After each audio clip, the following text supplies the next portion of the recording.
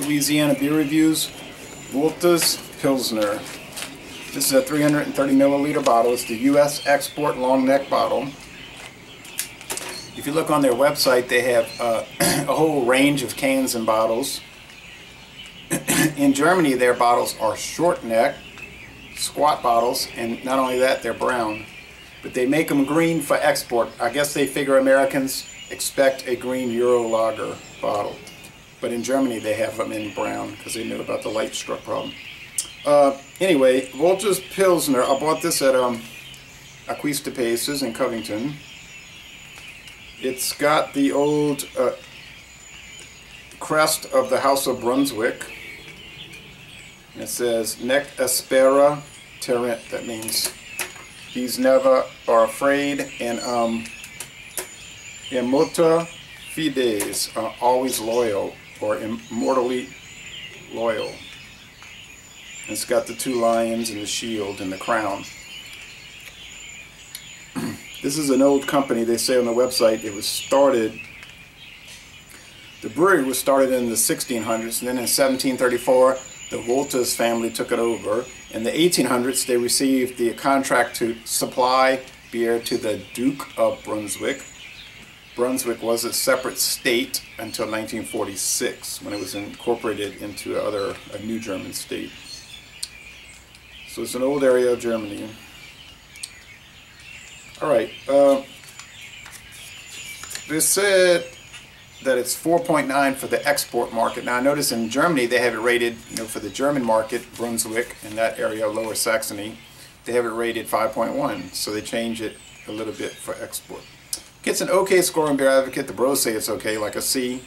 Only a 14 out of 100 on Rate Beer, 31 out of 100 for the style.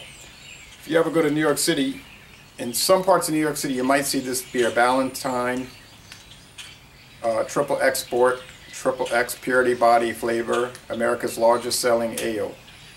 I thought I had a 22 ounce bottle, but I guess I threw it away. It was a similar label. So you can get the tall cans, 12 ounce cans, the 22 ounce bottles. I bought it in 32 ounce bottles before. They got 40 ounce bottles. Could be on draft, I don't know if I do go back to New York City this coming summer of 2015, I would like to root around and get different Ballantine uh, configurations. It's uh, bought. It was bought by uh, Pabst. It says Falstaff Brewing, but you know Falstaff bought Ballantine, and then Falstaff was bought out by Pabst. And interestingly, they don't even make Falstaff beer anymore for the last decade. They still make Ballantine. Okay, well that's an, a pale ale, or some might say it's a cream ale. This is just a straight up Pilsner. Okay. Pretty thick head and a golden appearance. Now they say Miller Lite from Miller. Miller Lite is a fine Pilsner beer. That's very straw colored. This has a deeper body. It's going to have more calories, 144 calories, and it's going to have a pretty good amount more alcohol. Okay. Well, it looks really nice. Let's go about let's go about smelling it. Okay, so when uh, this company was started in the 16, 1700s, it was part of the Holy Roman Empire of the German nation. Then after 1815 and the French under Napoleon were kicked out of Germany, that area that part of Europe was reconstituted as the German Confederation, then the German Empire, and today the German Federal Republic.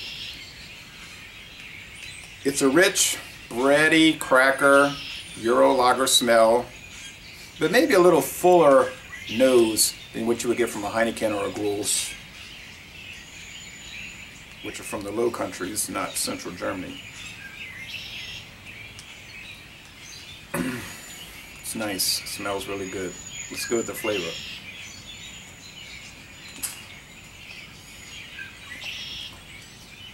Oh, and no skunk. Bready cracker bread, okay? Like the um, saltine crackers without the salt. Grassy hops a medium body. This is not too too thin. A crisp, clean, refreshing, and extremely enjoyable finish. Well, interesting thing about this company, they said they had been bought out by InBev, I think in 2003. This is the strangest part. They said they didn't like the way InBev was handling their marketing and interfering with their operations or something like that. And so they somehow arranged it where they got released from InBev and became an independent company again. Their family got control of the company after three years, I think in 2006. And they said in, since then they've been able to concentrate on how they want to distribute the beer, independent of InBev, and they um, they're in North. They go out to North America, South America, Europe, Africa, Asia. So it's pretty worldwide. Considering they've been doing this beer for hundreds of years, I think they have it pretty well down pat, and I think it's delicious. I don't see how Rate Beer can give this a 14 out of 100. That is so maddening to me. Like, I mean, I'm not getting mad about it. It just seems cuckoo. Um, now, maybe this is a cheap beer in Germany. But I, I don't know if it is a cheap beer or not. And whether it is, it sure tastes good. So that's what counts to me. I cannot see giving it less than an A, most excellent. So, in the style and really beer overall, it's like it it fills your whole body with enjoyment. so, oh, wow, one of the really good lager, Pilsner lager beers from Germany. So, Lese Le Bon Temps Roulé, most excellent. I'm going to end this review by saying, y'all come on down to New Orleans.